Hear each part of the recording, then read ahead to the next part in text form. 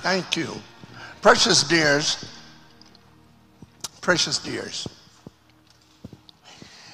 uh, you that may be visiting, uh, I understand there are a few visitors here, and uh, I,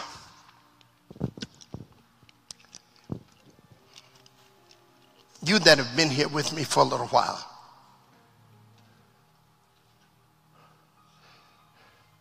I, I say it like it is, and I say it as I see it. I would not be a good doctor if I examine you and discover there's a cancerous growth in you and just give you Pepto Bismol, tell you all you have is gas, Tylenol for the pain, anesthetize your pain, and send you on your merry way. You're dying. The least I can do is carefully get up to it and tell you what you have has normally been untreatable. Or there is hope and we're going to try this and a little. But to tell you nothing, I'm not being fair. I'm derelict in my duty as a pastor. How many of y'all saw Come Sunday?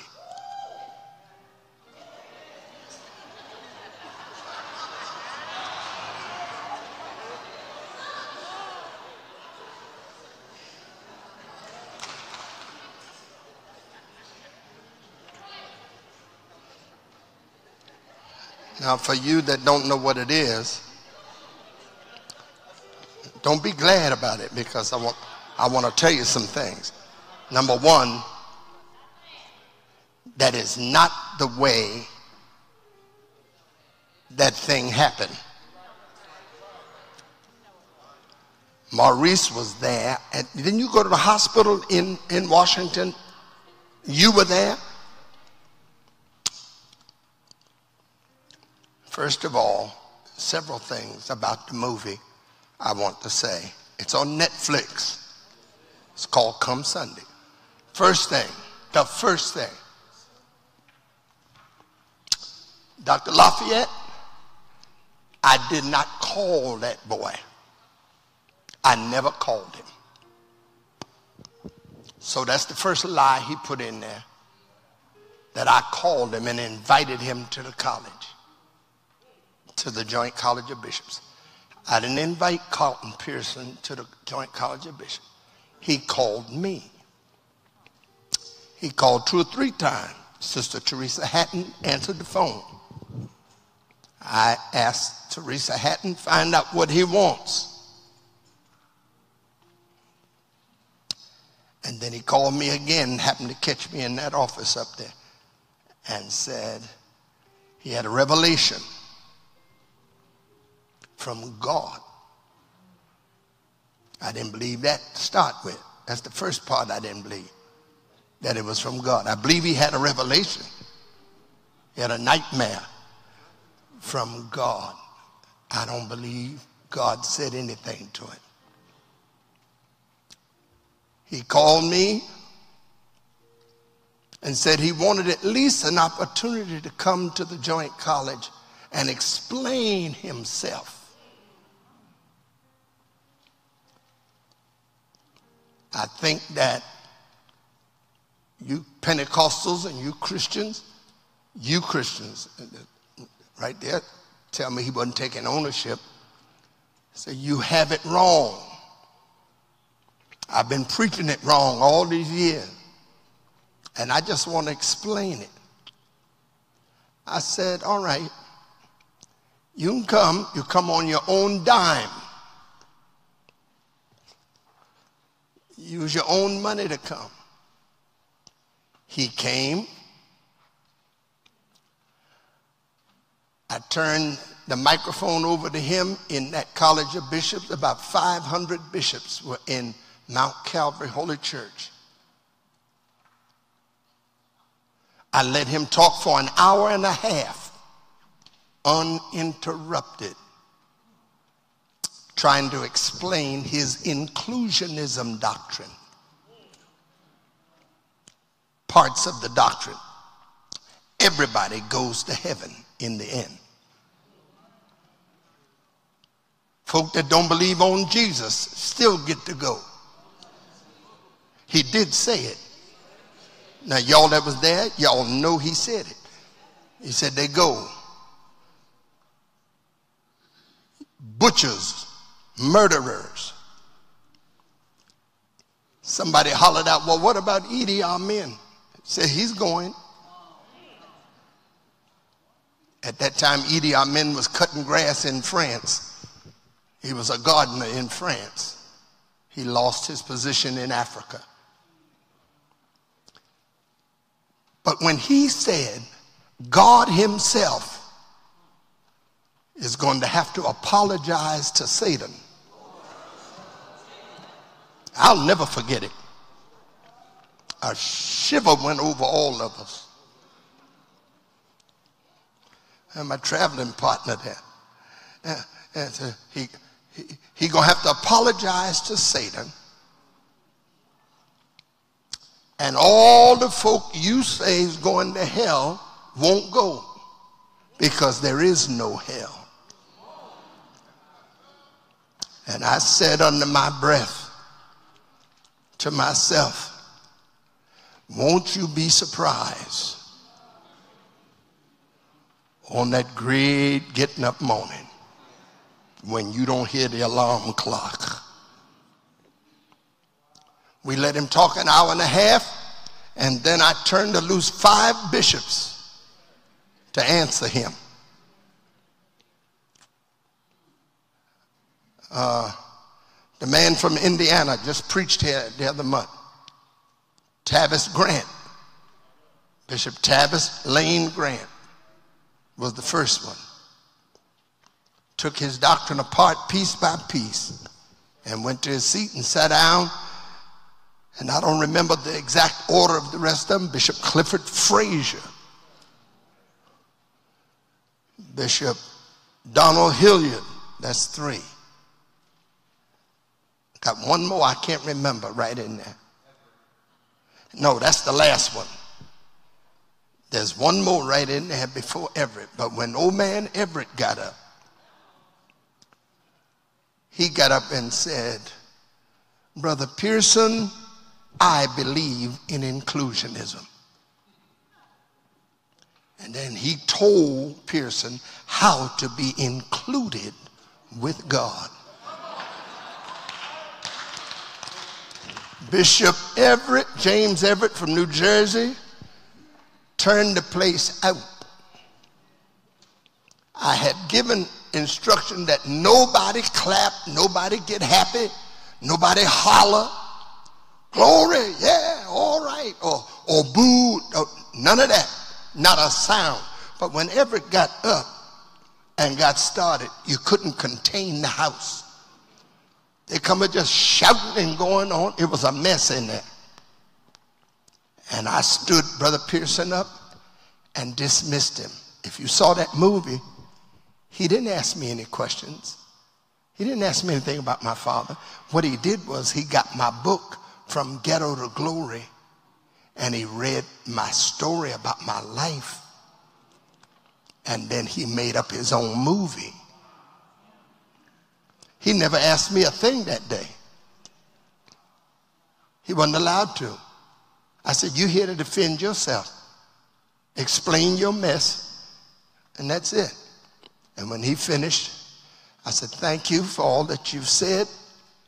Are you ready to repent and recant any of it? Not one word. I said, Then we are at liberty to call you a heretic. You are a heretic. You're an enemy of God. And in hell, you will lift up your eyes if you don't repent before death comes. Now you're excused. You may leave this assembly. He went out the back door, down the steps, put him in my car, and sent him to the airport. and haven't talked to him from that day to this. So the movie is just theater. He just needed to make some money. He can't keep a church.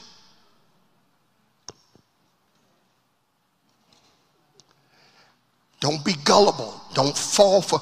And his theme was not love. In that movie, he talked about the love of God. No, he didn't. He denigrated everything we believe in Holy Scripture and said there was no need to turn to Jesus for salvation.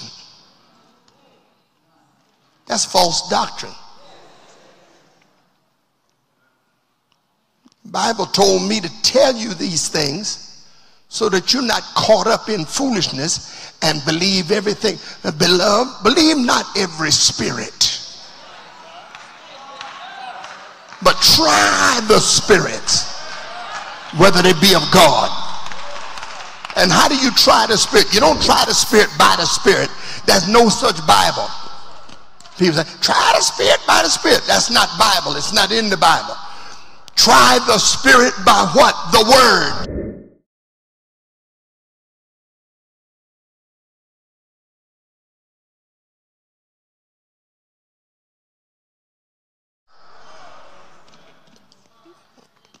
That's why I'm a little wary of folk always hearing from God. The Lord talked to me last night. You know, I ain't never known God to be such a blabbermouth until I got in holiness. God talked one time, He talked in His Word.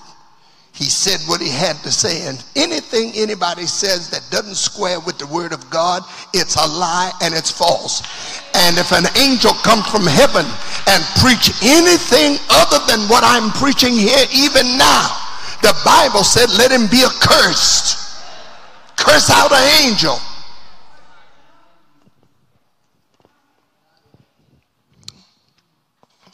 Now, I know he gonna hear that I said all this and going on, going on the, what is that that we on? We Facebook Live. My wife is in uh, in Dallas and she, she's nervous right now, walking up and down in her mother's house. She's watching. She's watching me. I love you, baby. I ain't got nothing but good to say about you. Hallelujah. I want Pearson to be saved. Let me explain something. I believe that Donald Trump can be saved. But he's got to turn to Jesus. He's got to surrender all He's got to believe on him as the scripture said. And out of his belly will flow rivers of living water. Y'all paying me any mind? Ain't no need, no needing us playing with this. Either we believe what we say we believe or we don't believe this. There are many ways to many ways to, to New York. I said, that's going to New York. I can go 80 to New York or 76 over the Pennsylvania Turnpike. Take 90, go to New York. But ain't but one way to God. Ain't but one way, just one. Somebody holler one.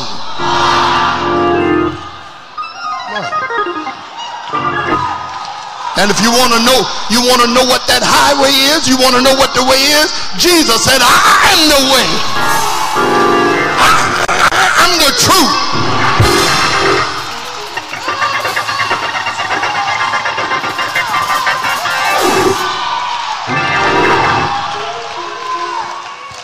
Quit playing. Quit playing. Quit playing around with this thing. Either we believe it or we don't. Either it's so or it's not. Hallelujah. So ain't no need, ain't no need me apologizing. I ain't apologizing for nothing I said. And I didn't say much that day. But I'm saying it now. if you don't repent, if you don't turn from your wicked way, if you don't turn to Jesus Christ, the Christ of the Calvary, in hell you'll lift up your eyes. Hallelujah. But if you will turn, he won't put you on probation. He won't drag you around. He won't tease you. He'll come in and save you. He'll abide with you. Hallelujah. All right. I, I, I knew I was going to do this. I knew I was going to do it. But, but, this, but this just settles it. Hallelujah. I'm not doubting about the way. I'm walking in the light.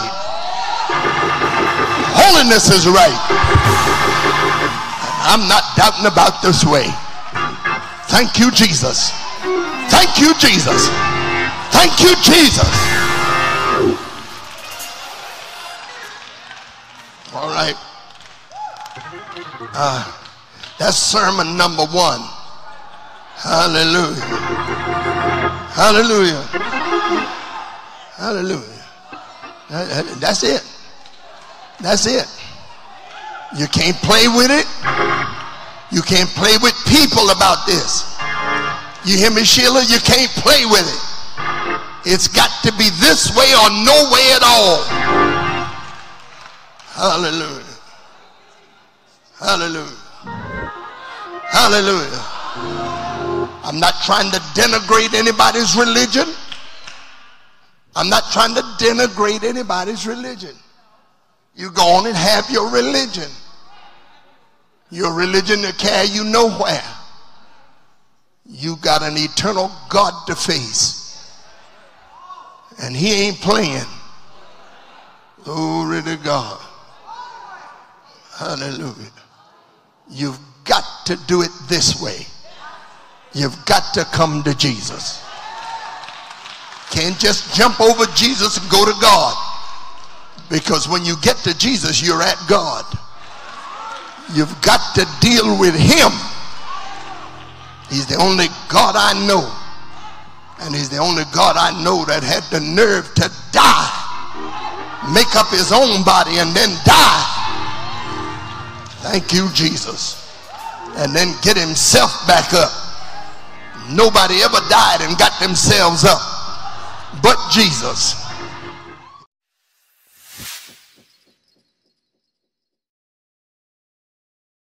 Ellis that way. What we what we've known about him, what I've known about him. I have a lot of friends who are close to him. I I didn't call him. I wouldn't have even thought to call him. He's not one of my close friends. Never has been. Uh, but he has been a respected clergy. I've never just been close to him. I don't even know the name of his organization.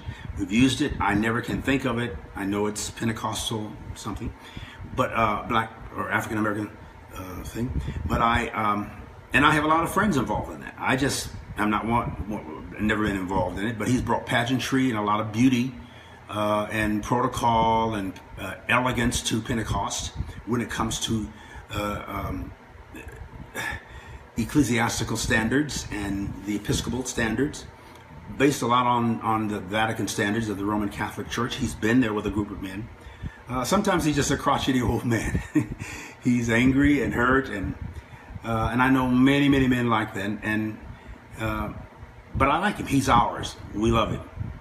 He's acts just like we portrayed him in the movie.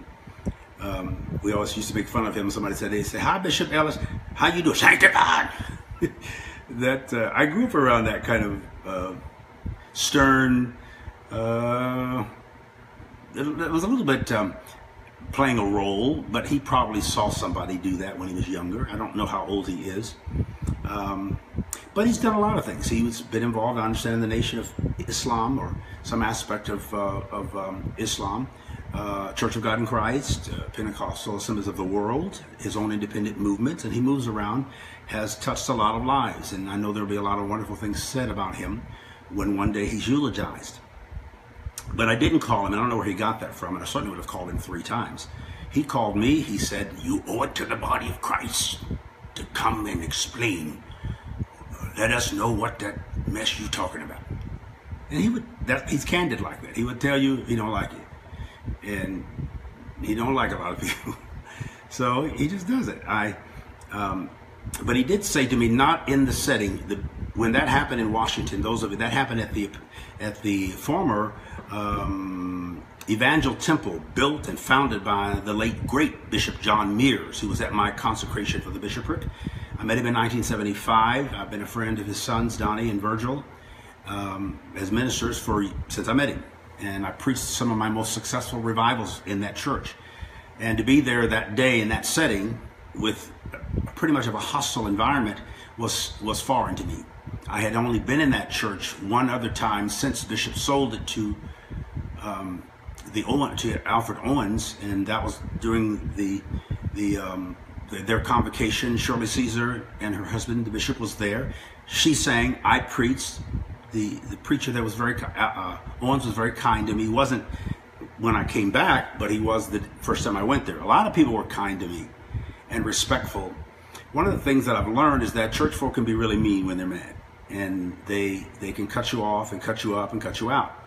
Um, that's sad about Christianity. It's sad about the so-called body of Christ. Um, there are bishops and sons of bishops all through the work. There's all kind of attitudes. There's all kind of uh, buffoonery. There's all kinds of bullying and arrogance and insecurities and spiritual immaturity. Your title doesn't mean you're spiritually mature. Your title doesn't mean you have any scholarly background. Your title doesn't mean that you're well learned, uh, though it might indicate same. But beauty is as beauty does. That's what I used to hear Bishop J.A. Blake, who 47 years ago licensed me. And uh, Bishop J.A. Blake is the father of our present presiding Bishop Charles Edwards Blake of the Church of God in Christ. I grew up in their ministry, in that family pretty much. Used to spend the night at Bishop J.A. Blake's home. He taught me how to go deep sea fishing. I used to mow his lawn because my high, junior high school was down on the block. Nana, Nana, we called him Mother Blake, would cook for us. I'm, I, COGIC is all I'll ever uh, be, but an expansion of it. I, I'm four generations classical Pentecostal. I mean, I'm into New Thought, Science of Mind, Universalism, I, I, I'm Transcendentalism, some aspects perhaps of Zen Buddhism. I love all those things, but I still speak in tongues. I love the Holy Ghost, how I quicken. I know how to pray. I know how to preach, and I know how to cast the devil out. Some of the vitriol that's coming from fundamentalists, uh, people that I lived with all my life, and some of you are making comments on, on the line the whole time I'm talking. When you get that upset, it reminds me of the days when I was casting out devils, and I've been casting out devils since I was 16 years old. And even though I'm New Thought and I'm involved in Universalism, which the first 500 years of Christian history, the church fathers were all Universalists. They all believed in the finished work of the cross. That when Jesus said it is finished, the word is tetelestai in Greek. It means mission accomplished. Battle done. We're not talking about uh, Mission Impossible, Tom Cruise. We're talking about Mission Possible, Jesus. The, the, the, the gospel, which, which means good news, evangelion, eu is good, angel or messenger uh, is good. The good news is that the bad news is all wrong. But some people, I remember Jessy Dixon saying to me, said, Bishop, uh, to some people, the, the gospel is really, the, the good news is just too good for some to believe. You call yourselves a believer, and, and Jesus said it is finished, and y'all said, oh no, oh no, hell no, it ain't done till we say it's done. It ain't done till you get baptized in the name I want you baptized, whether it's Father, Son, Holy Ghost, or in Jesus, or the Father, Son, Father, Son, Holy Ghost in Jesus' name. We argue about stuff like that. Stupid. But, um, well, protocol. And with the canon, some of you don't even know what canon means. You don't even know what the word Bible means. And I'm not trying to sound arrogant, but I, it's time for us to stop putting up with buffoonery. Y'all let these people act like fools and call themselves leaders and you worship them and follow them. It's like all these people following Trump who call themselves believers and family values, and he doesn't represent anything about Christ. So, uh, yes, I said it, and sometimes uh, a silent church is a saltless church. We need leadership, strong, decisive, forceful leadership. Uh, and that's not arrogance and it's not dictatorialism. It's somebody that really cares. Shepherding, sheep herding, pastor, stargazers.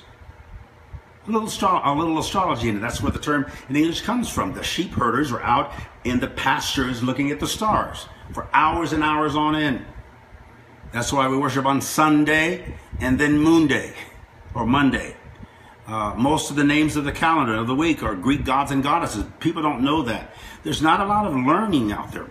Now, Oral Roberts, my beloved mentor and sometimes tormentor, whose um, disciple and student I was for 40 plus years, um, we had a close, I had a close proximity to him, his ministry, his mind, his um, his makeup, his statements that uh, that um, uh, I've remembered all my life. I think I was sent there by destiny to study the man and to study under the man and to be taught by the man. I loved him to his grave. He and I never broke fellowship.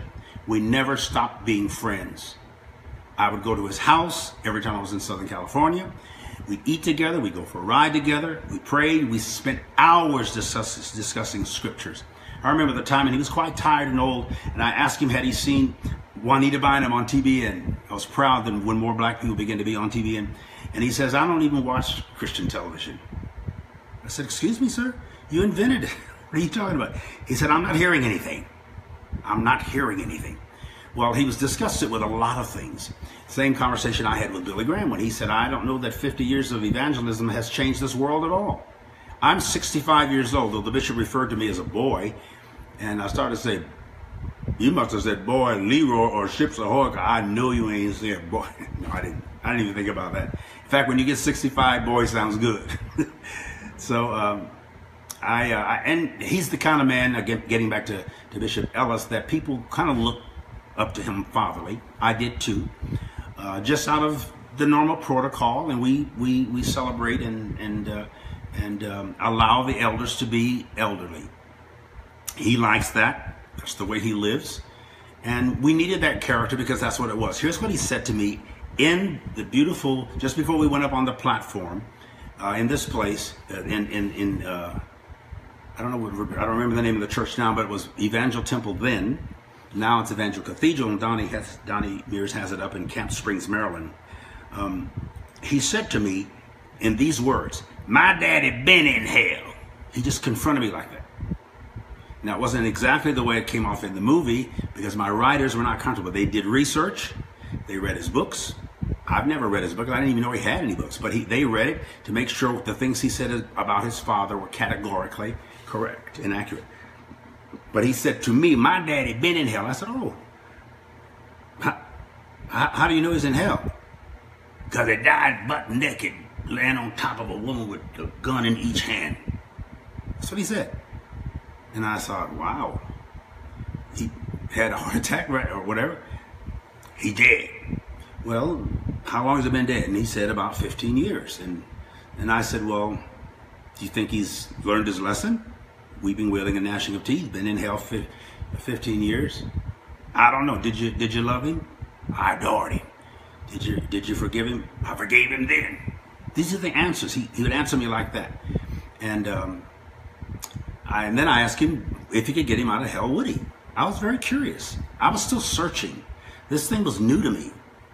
And uh, I didn't know it was going to be a, a, sort of an ambush. I, I thought he honestly wanted me to explain my position theologically, philosophically, to my peers. I went with respect against the advice of my staff. Um, I just didn't it never crossed my mind that what happened would have happened. Then you didn't see this part when they finished. Uh, they'd already made up their mind before I got there. He had, and I think the, those who were who gave the rebuttal, I don't remember who, who all they were, except for I think Donald Hilliard, whom I'd known for years before he had his beautiful cathedral, a brilliant thinker.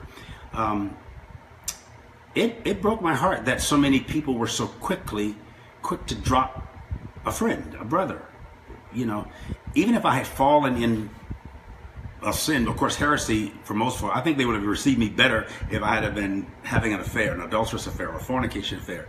If they found me um, embezzling money, or I think I would have been treated a little kinder. But when I became a quote unquote universalist and said everybody is included and enclosed in the caring love and mercy that endures forever, of course, that's a con- specific contradiction to eternal doom or condemnation or damnation. Uh, they one would cancel out the other, but most people are not that reasonable. We just want to accept hell. Uh, people say uh, many saints walk up to me and say, "Well, Bishop, are you telling me if um, uh, that I can just do anything I want to do and go to heaven?" I say, "Well, let's let's first talk about what you want to do, sweetheart or brother. Who do you want to do? What do you want to do? Why do you want to do it? Who you want to do it with? What are you thinking?" Y'all are quick to throw Jesus away. Without, we don't need, without hell, we don't need Jesus. So all Jesus is for you is a fire escape. You don't like his teachings. You don't like his love. You don't like his forgiveness. Uh, you don't like his deliverance ministry. You only need him to get you out of hell. That's the only way you cannot even imagine a kind, loving, revolutionist, metaphysician like Jesus, uh, the one in the Bible, um, unless he can get something, give something to you, or get something from you. That's that shows you where your minds are. Would you really love God and serve God uh, if uh, He didn't threaten you for otherwise? If somebody says, "I love you," and you better believe it, and if you don't believe it, I'm gonna kill you, and I'm gonna torture you forever, and my name is God, and the only way you can get free from my wrath is Jesus. Well, do we need Jesus to protect us from God? Are he and the accuser of the brethren, called the deceiver, in cahoots? And Jesus protects us from both of them? A lot of this stuff is nonsense. A lot of this stuff is just stupid. And I know it's sacred. My mother's here, my dad, my family. We all have loved this. I preached it with the best and the rest of it. Then I had an awakening. You still sleep. That's fine the alarm is going off and you just keep pushing the snooze button. you don't want to wake up. You don't want to get up. Some of you have awakened. You know that what you're teaching is inaccurate. You feel that it's wrong, but you believe it's right. You know it's wrong. I went through that for years. I knew that stuff wasn't accurate. I knew it was inconsistent with the moral character of a loving God whose mercy endures forever. But I didn't believe it because my mom and them and they mom and them. I mean, tradition. We're dealing with at least 2,000 years of entrenched indoctrination. I've done the research. I spent years studying, not just my years in college when I majored in biblical literature, English Bible, and minored in theology and historical studies. I actually studied more after I got out of school. I was, I've always loved the scriptures. I still do. I take them seriously. I just don't take a lot of it literally. The Bible itself says the letter or literal rule lest the literal kills. Spirit gives life. I believe in the Bible. The Bible says. Most of y'all talking, listen, I grew up around you, so I know how you think. You don't even know what the word Bible means. I didn't. We don't know where it came from. It's the word of God. How you know? Because it says it is. well, uh, who told you that? Why, you, why do you believe that? Those who read the Quran or the Bhagavad Gita? or other sacred writings believe theirs is also the Word of God. There's been at least eight or nine other Christ-like figures in human history that predates Jesus by thousands of years, who were born supposedly of a virgin mother and had 12 disciples and was a healer and a teacher and a reformist and, and a man of peace and he loved the folk and was executed and is supposed to come back and hasn't yet. I've been to Jerusalem. There are two different places where the resurrected Christ was supposed to have been buried, and both of them are empty. The Garden Tomb, which most uh, Protestants believe is the accurate place, and the, the Church of the Holy Sepulchre, which is the Roman place. Uh, Roman Catholic is beautiful, and well, it's all really dusty and, and cluttery, but it's sacred. I cried in both places, more at the Garden Tomb because it seemed more like a, a garden tomb. And both of them were empty, and both of them are being claimed to have been the, the, place where the resurrected Christ is because we can't find his body. You can't find his body in any of those places. What's that supposed to mean? That he's not buried somebody else? And I'm not suggesting that he is, but even if he was, that wouldn't break my faith. I still trust the divinity that I feel, that I am, that I believe in. I don't need religion. I can use it maybe. I like the connectedness, I like the sociology of it. But institutional organized religion is a dangerous thing. It is tribalism, territorialism, elitism, a lot of bigotry, self righteousness, Many African Americans are upset about the white supremacists. There are not as many of them, and the people who call themselves white supremacists really have very low self images and are very insecure. But it's the white superiority which we blacks have bought into when we call ourselves Christian because we're all the chosen people, which means the rest of the world goes to hell. God only likes a few of us. The righteous shall scarcely make it in. Where shall the ungodly appear? The righteous shall scarcely, barely, almost not make it in. That's what that's in our subconscious. And we, we're literalists. I'm not, I, I'm not a literalist. Anybody who tells you that the Bible is inerrant and infallible has not read it through. Hasn't studied the language. Haven't studied or done the etymology of the words. We're talking about five major languages and many others. We don't even know where the original handwritten copies are. As far as we know, they don't exist. All we have are copies of copies of copies. Let the Bible say this, and the Bible said that. Study the history of the Bible. Study to show yours. The Bible also says, study to show yourself approved. A workman that needs not be ashamed. Rightly, accurately, right or upright, correctly, erectly, accurately, dividing, distinguishing, discerning the word of truth, the logos, the logic of truth. Most of the time you see the word of God is the Greek word logos, where we get the word logic or logistics. There is a divine logistic in the universe. You can call it also the laws of the universe, which include the laws of attraction, which include the laws of sowing and reaping. What's wrong with intelligence? What's wrong with research? What's wrong with admitting after 50 years of walking a certain way, I had to admit, I think I got this wrong. In my in my traditional uh, uh, colloquial Pentecostal language, I believe the Holy Ghost said to me one day, "Do you really believe what you're preaching?" Yes. How do you know it's correct? Well, it's in the Bible. What do you mean by Bible? Your word. Whose word? Who knows my word?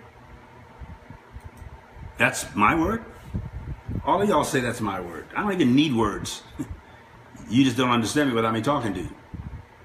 Do you think that the serpents who spoke to Eve and Adam uh, spoke in Hebrew? Do you think that um, that God speaks Hebrew? Well, if he speaks Hebrew, he speaks Japanese and Chinese, and if he's omnipresent, meaning everywhere, omniscient, omniscient, all knowing, science means knowledge, uh, omnipotent, all the potential or power in the universe or anywhere is God. That same omnipresent, omniscient, omnipotent God admitted in the sixth chapter of Genesis that he made an error. He made a mistake. Oh my, what have I done? The word repent means to sigh ruefully in Hebrew. He went, oh, this ain't gonna work. I repent. I regret that I made these folks. They're human. They're mortals. I ain't down with this. I don't like this earth project.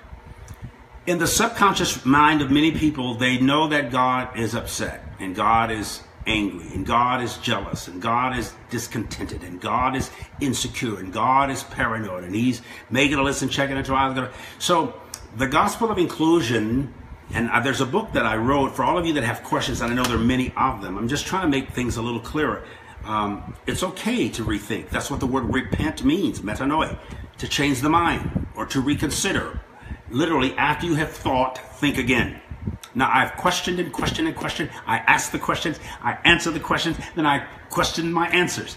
This is a book called uh, The Gospel of Inclusion Reaching Beyond Religious Fundamentalism to the True Love of God and Self. I just realized after 50 years, and I, when my consciousness expanded, that I was going from self loathing to self loving. Let me say something again about our beloved Bishop Ellis. He talks about the, the rocky, painful relationship that he had with his father. I have a lot of sympathy for him. I don't have empathy because my relationship with my father was marvelous. My dad was not abusive in any way, verbally, attitudinally, certainly not physically or sexually. Uh, I don't know how I would have handled that. I don't think the man's been healed. He's considerably older than I am, but you feel that pain, that anger, that resent.